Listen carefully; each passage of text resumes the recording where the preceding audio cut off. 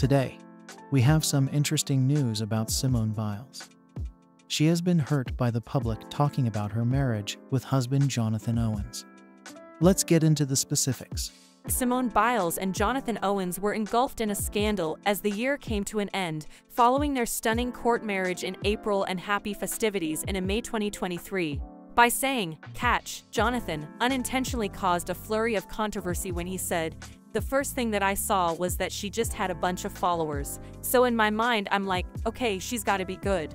The NFL player's remarks, which he and his renowned wife made public on the podcast The Pivot, sent hordes of Simone Biles supporters into shock. Online commentators called Owens a troublemaker and even advised Biles to break off her relationship with her adored spouse. Simone opted for the respectful course of remaining silent in the face of the blazing storm, but Owens boldly demonstrated their oneness by stating, Unbothered, just know we locked in over here. Simone Biles is unwavering in her resolve to stand by her commitment to Jonathan Owens and to silence the growing number of divorce demands. During her appearance as a celebrity guest on Alex Cooper's popular podcast Call Her Daddy, Simone Biles opened up about intimate details of her life. In response to a question concerning her first thoughts on the drama, Biles laughed at the overly dramatic answers, which included advice for her to divorce Jonathan. He also mentioned that he found the word divorce offensive.